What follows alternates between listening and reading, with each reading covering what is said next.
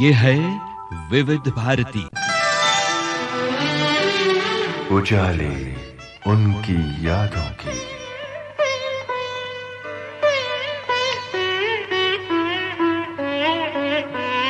उजाले उनकी यादों की।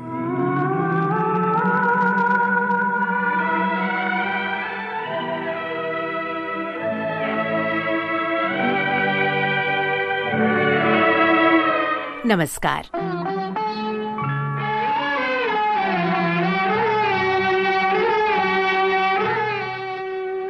उजाले उनकी यादों के।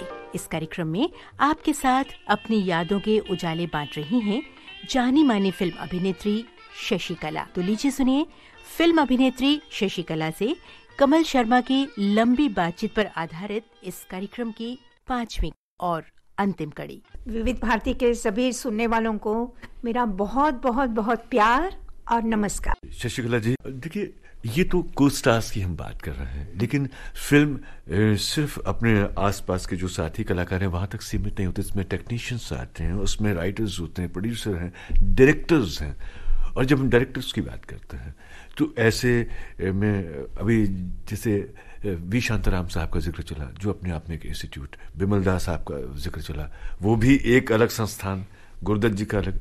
और ऐसे ही ऐसे एक दो और घराने हैं जिसमें मैं बी आर चोपड़ा साहब की बात करूँ या यश चोपड़ा जी की बात करूँ जिन्होंने बहुत सारी फ़िल्में उनकी शुरू शुरू की डायरेक्ट भी की। और उनकी। लेकिन बी आर फ़िल्म ने भी बोल्ड सिनेमा जैसे हम कह सकते हैं कि हाँ। जिसकी हिम्मत नहीं करते ऐसे कथानकों को उठाने की लोग जी, ऐसे कथानक उठाए चाहे वो एक अ, उसी जैसे धूल का फूल है उनकी एक फ़िल्म उसकी हम बात जी, करें चाहे गुमराह। हाँ, गुमराह साधना। जी आप बताइए आप भी उनकी बहुत सारी फ़िल्मों में हाँ जी हाँ। जी हाँ जी। हाँ। धूल का फूल में मैंने एक छोटा सा ही रोल किया था। उसके बाद मुझे गुमराह में रोल मिला। तो फ़र्स्ट डे मेरा काम था वहाँ पे सीन मुझे बुलाया। माई मुझे बुलाया करते थे अच्छा। चोपड़ा जी। माई ये सीन है। और इस सीन पे मेरी पिक्चर पूरी डिपेंड करती है।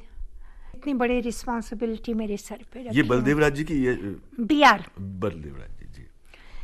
और वहाँ क्या होता था कि हम लोग करते थे ना दोनों भाई में यूनिटी बहुत थी। तो करते थे तो फिर कभी यश जी आके बताते थे कि इसमें ऐसे करो। कभी चोपड़ा जी बताते थे इसमें ऐसे करो। बहुत सीखने लायक। तो फ़र्स्ट डे मैं और माला दोनों का सीन काफ़ी लंबा सीन पता नहीं आपने गुमराह देखी है या नहीं। मेरा इंट्रोडक्शन सीन है। होती तो वो ब्लैकमेलर मगर सीन में ऐसा दिखाना था कि मैं सुनील जी की बीवी का बीवी हूँ। एक रिहर्सल दो रिहर्सल यानी कि आप बिलीव नहीं करोगे लंच तक रिहर्सल ही होते रहे।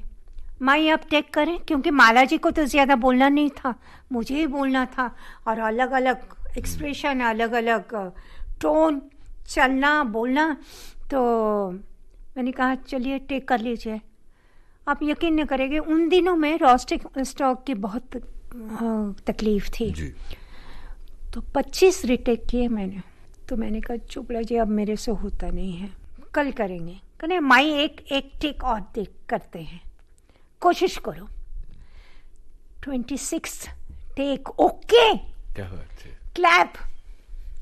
और इतने प्यार से मुझे मिले कि नहीं माई बस मेरी पिक्चर हिट हो गई तूने कमाल का शॉट दिया है।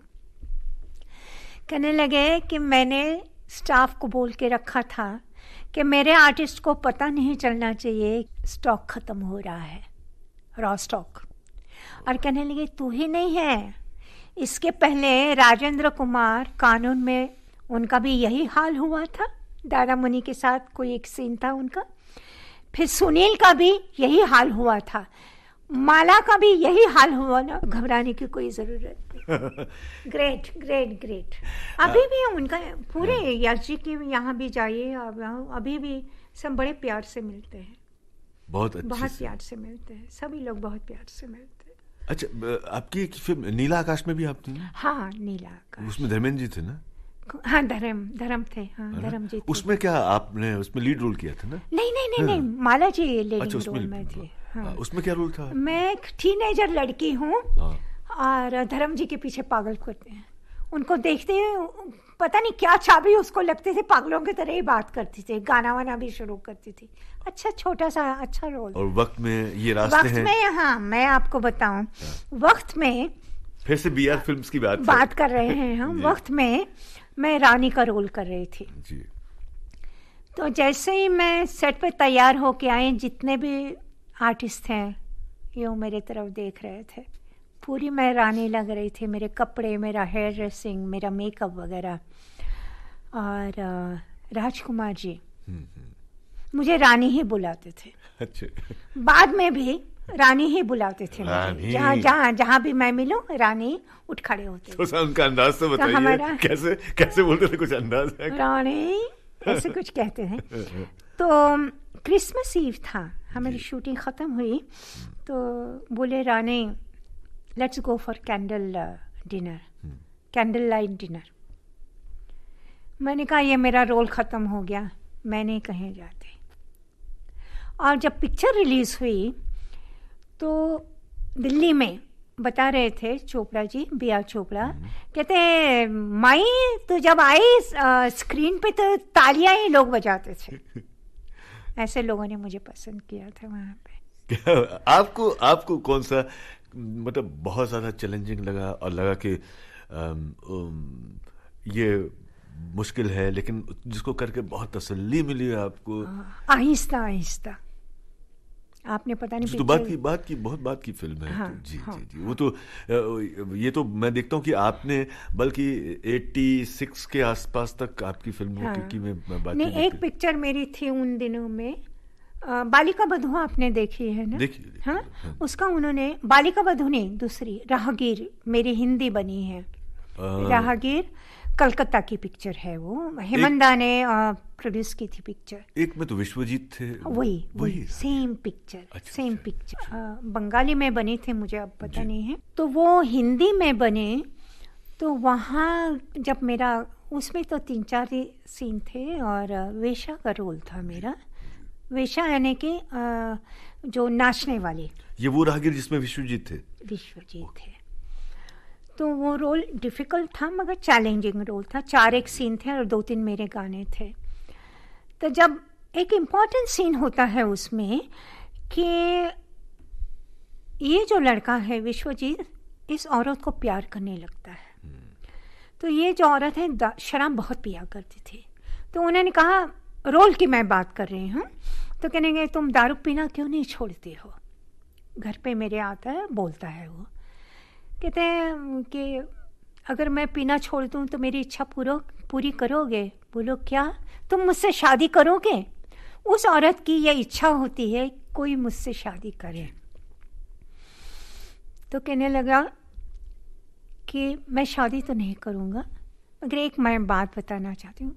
वो घर से भाग के आए हुए होते कहते मेरे घर में मेरी माँ की एक फ़ोटो है, पोर्ट्रेट लगा हुआ है।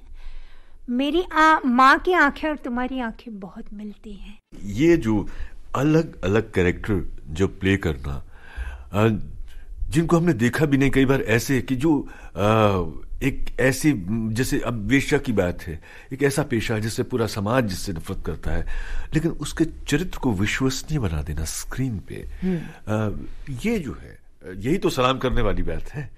और आपने स्क्रीन पे वहीदा जी को भी रुलाया है अच्छे अच्छों को रुलाया है। आपने मतलब जो सीनियर थे आपसे नीला। आपने नीलकमल, नीलकमल। में नीलकमल। मैं आपको बताऊँ ये जो डायरेक्टर उनका दा, नाम मुझे याद नहीं आ रहा है। शायद आपको इससे मिल जाएगा। जी जी। वो उनके पास असिस्टेंट होते थे। मगर जैसे ही शॉर्ट हो जाए कहते थे वैसे ही खड़े रहो और स्केच बनाते थे कंटिन्यूटी के। असिस्टेंट तो लिखते हैं ना ये तो स्केच बनाते हैं ये हाथ ऐसे ये पैर ऐसे ऐसे। इतने ग्रेट डायरेक्टर बहुत अच्छी अच्छी पिक्चरें दी हैं। मैंने उत्तम कुमार के साथ काम किया। उस वक्त तो कलकत्ता के दिलीप कुमार। हाँ बिल्कुल सही बात है। प्रीमियर पे गए और जैसे ही उत्तम दा आए स्क्रीन पे उनका बैग और जो ऑडियंस थे उत्तम दा। शक्ल भी नहीं उनकी देखी। उत्तम दा मैंने कहा इस आदमी की क्या पॉपुलैरिटी है? ओ हो हो हो हो। ऐसी। छोटी सी मुलाकात। वैजू थी वैजंती माला थी उसमें। विजय भट्ट की मैं बात कहूँ। आप विजय भट्ट पे आने से पहले आपने अभी बड़े प्यार से वज़ू कहा हाँ। बोले वैजंती माला हाँ, तो ये आप उनको प्यार से बुलाया करते थे? नहीं हम हमेशा वैजंती ही कहते हैं। वो अभी मैंने आपको शॉर्ट फॉर्म अच्छा, में अच्छा, बोल अच्छा, दिया। अच्छा। मगर जब पहली पिक्चर उनके साथ मैंने की थी सितारा। जी। उसमें एक गरीब लड़की का रोल था मेरा। तो वो उनके पास बैठ के कोई बात भी नहीं कर सकता था। वो भी किसी से बात नहीं। मगर जब मैंने छोटी सी मुलाकात में we were so friendly she was so relax she was working with Raj Kapoor she was very relax mentally also she was very मज़ाक वजाक चलता था जोक्स वगैरह सुनाया करती थी वो। अच्छा एक पिक्चर उनके साथ मैंने की पटरानी। हाँ शायद पता नहीं आपने गाने हैं हमारे पास। हाँ? विजय भट्ट ने मुझे बुलाया। कहने शशि एक रोल है बहुत अच्छा रोल है डांसर का। और तुम करोगे? मैंने कहा ज़रूर करूँगी। तो फिर कहने लगे कि पहले श्यामा जी करने वाले थे जब उनको पता चला कि वैजंती है डांसर उसमें तो वैसे तुमको करना पड़ेगा। तो उसने छोड़ दिया कि नहीं, उसके सामने उनके सामने कौन का डांस करेगा? मेरे लिए चैलेंज था। बस जी रिहर्सल शुरू हो गए। उन दिनों में मैं स्टंट पिक्चरों में भी काम करती थी। सोशल पिक्चर में भी काम करते थे। तो हीरालाल मास्टर जी सुबह कितने बजे? चार या पाँच बजे आ जाते थे मेरे घर पे। मुझे लेके वो प्रकाश स्टूडियो। वहाँ पे नौ बजे तक रिहर्सल करना। फिर मैं शूटिंग के लिए जाती थी। छः बजे फिर यहाँ प्रकाश स्टूडियो में नौ बजे तक रिहर्सल करते थे। फिर रात को स्टंट पिक्चर की शूटिंग करना। फिर ऐसे दस दिन मेरी रिहर्सल होती रही। जब मैंने डांस किया वैजुन वैजंती जी ने भी बहुत तारीफ़ की मेरी बहुत तारीफ़ की कहीं इसके पीछे आपके सबकॉन्शियस का अम, वो कलाकार तो नहीं था जिसने पहली बार अपनी एक छोटी सी गलती से एक रोल को खो दिया था। वो तो होगा ही ना। था। बार-बार तभी तो मैंने मराठी बोलना छोड़ दिया। और आप इस जिद पे भी आ गए। हाँ जिद पे आ नहीं, चैलेंज चैलेंज नहीं नहीं मतलब। अभी खूबसूरत की बात करते हैं खूबसूरत पिक्चर की। रिशिदा आए मेरे पास। कहने कि शौशी जैसे उनके बोलने का ढंग है। एक रोल है। करेंगे? मैंने कहा करूँगी दादा? बोले कि रेखा के साथ डांस करना है। कर सकोगे? मैंने कहा दादा अगर आप मुझे टाइम देंगे तो मैं ज़रूर करूँगी रिहर्सल के लिए। आठ दिन दूँगा तुमको। मैंने कहा ठीक है। फिर आए घर पे। शशि मैं तीन दिन ही दे सकता हूँ और नहीं तो मैं डुप्लीकेट से काम लूँगा। मैंने कहा ठीक है दादा तीन दिन दे रहे हैं ना? ठीक है। आप बिलीव करेंगे सुबह आठ बजे से रात के आठ बजे तक गोपी कृष्ण के यहाँ जाके मैं रिहर्सल करती थी। इस उस मतलब बहुत उस समय भी ये हाल की बात है खूबसूरत ज़्यादा दिन पुरानी नहीं फ़िल्म आई है। Must be forty five at that time तो रेखा जी आई देखने के लिए। तो जैसे गोपी जी बात कर चल रे लड़कियों की तरह पुरानी बासमती जरा करके दिखा दे। मैंने डांस करके दिखाया। रेखा जी ऐसे ही हो गए। फिर हमने गोवा उसमें डांस दोनों ने आ गई ना चीज़ें तो। जिद जिद्दी जिद जिद्दी कहना चाहिए इसको। जी जी। मतलब मगर अच्छे कामों में बुरे कामों में नहीं। जी। आपको कभी कोई ऐसा एक्सपीरियंस जिसमें कहीं गई हैं और पब्लिक ने आपको बहुत नफरत से पेश आई और मतलब मैं बताती हूँ आपको। लखनऊ मेरी सिल्वर जुबली थी या अवार्ड के लिए मैं गई थी। क्योंकि अपने हिंदुस्तान में जितने भी जर्नलिस्ट अवार्ड्स सारे मुझे मिले हैं। तो शायद अवार्ड फ़ंक्शन के लिए गई थी। तो कुछ हमारे पहचान के लोग रहते थे तो उन्होंने लंच के लिए बुलाया तो मैं उनकी गाड़ी में बैठी। गाड़ी में बैठी तो एक फ़ैन ने मेरा पल्ला ही पकड़ लिया। मैंने कहा क्या भाई तो मैं आपको जाने ही नहीं दूँगा जाने ही नहीं दूँगा। पंद्रह मिनट बीस मिनट पल्ला ही खा लेके कहते हैं आप उतरो। मेरे से बात करो। मैंने कहा भाई मेरे को जाना है। छोड़ा नहीं उसने। और दिल्ली प्रीमियर के लिए गए तो इतने बड़े बड़े पत्थर लोगों ने मारे मेरे पे। बोलिए अगर कहीं कुछ लग जाए तो फिर क्या होता है? लेकिन वही ना खलनायक के साथ विडम्बना ये कि यही उसके लिए कॉम्प्लीमेंट अभी भी लोग यही समझते हैं कि मैं रियल लाइफ में ऐसी हूँ मैं क्या करूँ बोलिए। नायक नायिका उनको फूल मिलते हैं और खलनायक उनको पत्थर मिलते हैं। लेकिन दोनों के लिए अगर उसकी बात करें तो परिभाषा इनाम की अलग अलग हो जाती है क्योंकि जितनी नफरत जनता से मिलती है इसका मतलब है आपने बहुत ही बेहतरीन काम किया है। लेकिन इसके अलावा भी हम चाहते हैं कभी कभी अ, समाज की तरफ़ से शासन की तरफ़ से हमें रिकग्निशन मिले। महाराष्ट्र गवर्नमेंट ने दो बार मुझे ऑनर किया है। जी। पिछले साल भारत सरकार ने मुझे ऑनर किया है पद्मश्री दिया है फाल्के अवार्ड मिला है। आपके दौर में म्यूज़िक का एक बहुत ही अलग मिजाज हुआ करता था। जी जी जी। उसको मिस करती हैं आप? बहुत मिस करती हूँ क्योंकि आज के दौर में देखिए आज के पिक्चरें जो ना आज के यंगस्टर्स आज के जो लोग हैं उनके लिए पिक्चरें बन रही हैं। मगर जो आप म्यूज़िक आज के पिक्चरों का सुनेंगे दूसरे दिन आप भूल जाएँगे। मगर पुराने पिक्चरों का जो म्यूज़िक है अभी तक आपको याद है। आपका मन करेगा बार बार सुनने के लिए मन करेगा। जैसे लता जी के गाने हैं आशा जी के हैं गीता रॉय के हैं इनको तो आप भूल नहीं सकते हैं। वैसे मेल सिंगर भी उस जमाने के हाँ। जी तलत महमूद बहुत जब भी जब वो रेडियो पे गाते थे तो मैं हमेशा उनके रेडियो पे गाने सुन तस्वीर तेरा दिल पहला नहीं सके। क्या हेमंत दादा के गाने? मुकेश जी के गाने हैं और रफ़ी साहब के गाने? मन्ना मन्ना दा के हैं और ये जो हाथ सीने पे रख दो के करार आ जाए मिर्ज़ा साहिबा का गाना है नूरजहां के साथ। आपको आज के किन कलाकारों का काम बहुत अच्छा लगता है? देखिए अमित जी अमिताभ बच्चन उनकी मैंने पिक्चर ब्लैक देखी। मैंने कहा ये रोल तो कोई भी नहीं कर सकता। वही कर सकते हैं। और जो यंगस्टर्स हैं शाहरुख खान। अच्छा। और आमिर खान। हाँ हाँ। उसके बाद अपने राजेश खन्ना जी के जो जमाई हैं क्या नाम है उनका? अक्षय। अक्षय जी। क्या कॉमेडी करते हैं? सलमान खान। ये लड़के एक बहुत ही कमाल का काम करते हैं। ऐसे अनिल कपूर? अनिल अनिल जी हाँ। अनिल कपूर और जैसे शाहरुख जी हैं। जी जी जी। दो तीन पिक्चरों में मैंने उनके साथ काम किया। खुद मिलने आए। देखे इतने बड़े स्टार हमको मिलने आए इतना रिस्पेक्ट दिया। और मैं जितने भी हमारे आर्टिस्ट हैं यंगस्टर्स जो हैं बेटे और बेटी के सिवा मैंने किसी से बात हमेशा हाँ बेटा हाँ बेटी ऐसे ही बात की है। परेश जी ओह! कमाल का काम करते हैं। इनकी पिक्चर मैंने देखी थी। दो पिक्चरें अभी तक मुझे एक में ही उन्होंने यूनक का काम किया था। जी जी जी जी, और दूसरी- थी शायद। ये ये इनकी थी इसकी सड़क ही वो महेश हाँ। साहब की बिटिया ने हाँ। उसको और एक पिक्चर थी इनकी अ, ये उन्होंने रोल किया था पटेल साहब के। वल्लभ भाई पटेल का रोल जो उन्होंने किया था। उफ। मैं तो भूल ही नहीं सकती ये दो रोल। और आजकल तो बहुत ही अच्छे कॉमेडी कर रहे हैं इसमें तो कोई जवाब ही नहीं है उनका।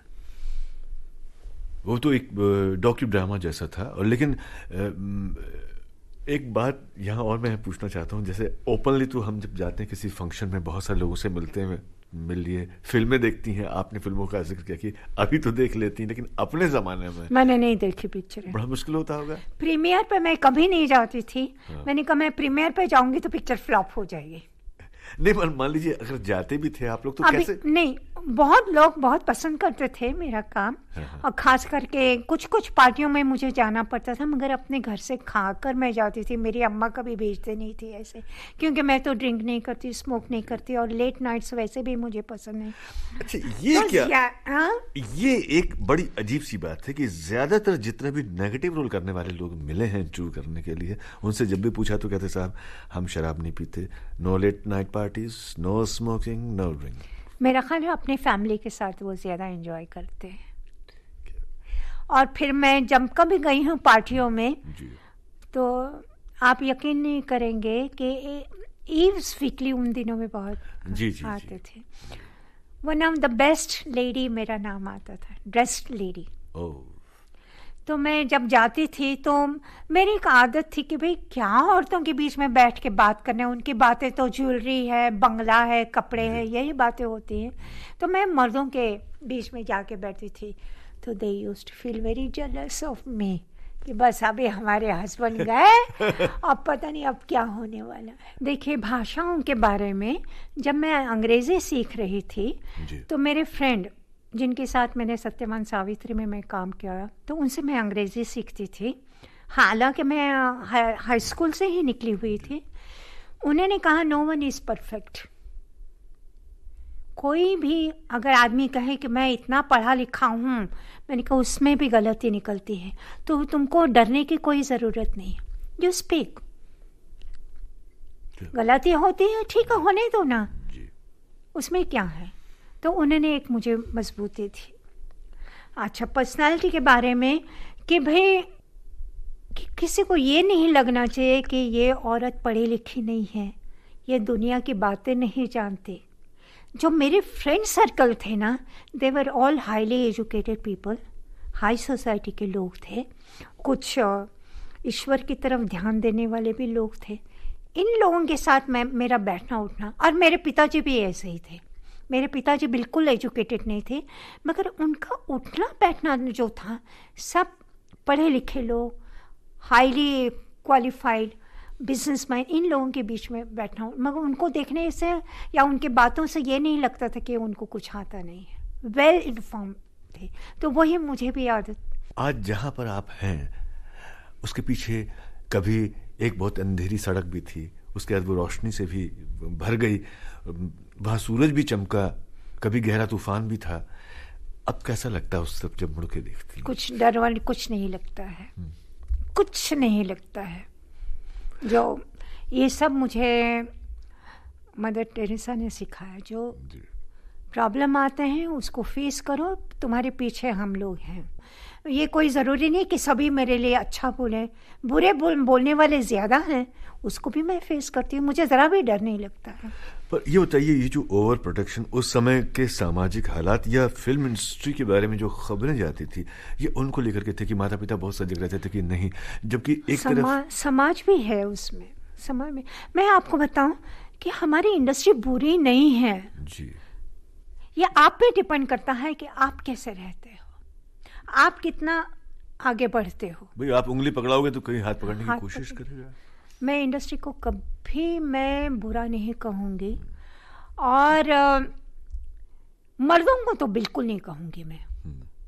अगर आप ज़बरदस्ती उनके ऊपर गिरेंगे तो कोई भी आदमी फ़ायदा उसका उठाएगा। हमारी इंडस्ट्री वाले क्यों बाहर वाले भी उसका फ़ायदा ये आप पे निर्भर है। आप कैसे रहते हैं? आपका बिहेवियर कैसा है? आप कितना फॉरवर्ड बढ़ते हैं उसके ऊपर मेरे साथ तो कोई ऐसा एक्सपीरियंस हुआ नहीं जिसके लिए मैं मैं अपने इंडस्ट्री को बुरा कहूँ। तो शशि जी आज इस लंबी बातचीत के हम आखिरी चरण पर आ पहुँचे हैं। करोड़ों हमारे जो सुनने वाले हैं उन्होंने इस प्रोग्राम के ज़रिए आपकी ढेरों बातें सुनी। उनसे क्या कहना चाहेंगे? पास्ट को भूल जाइए। वो तो क्या राख है उस राख को हम लेके क्या करेंगे? भगवान को याद कीजिए। अगर हो सके तो गरीब लोगों की सेवा कीजिए। और यंगस्टर्स के लिए मैं कहती हूँ बिल्कुल डरना नहीं। डर एक ऐसी चीज़ है कि इंसान को ख़त्म कर देती है। सच्चाई से काम करो कामया कामयाबी आपके पास है। और किसी का बुरा मत सोचो अगर हो सके अगर तुम कर सकते हैं तो अच्छा करो। कम से कम बुरा तो ना करो किसी का। क्या बस और क्या है।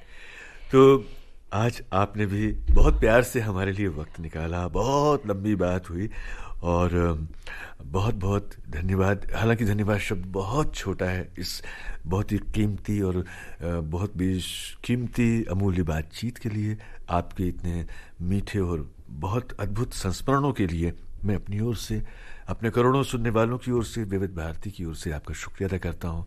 नमस्कार। मैं आप सब लोगों का शुक्रिया अदा करती हूँ कि आपने मुझे इतने प्यार से बुलाया। Thank you very much and God bless you all उजाले उनकी यादों के। आप सुन रहे थे सुप्रसिद्ध फ़िल्म अभिनेत्री शशिकला से कमल शर्मा की लंबी बातचीत पर आधारित इस कार्यक्रम की पांचवी और अंतिम कड़ी। Recording engineer Vinay Tadwalkar. संयोजन शकुंतला पंडित। इस कार्यक्रम को संपादित और प्रस्तुत किया कमलेश पाठक ने। ज़रूर सुनिएगा कार्यक्रम। उजाले उनकी यादों की।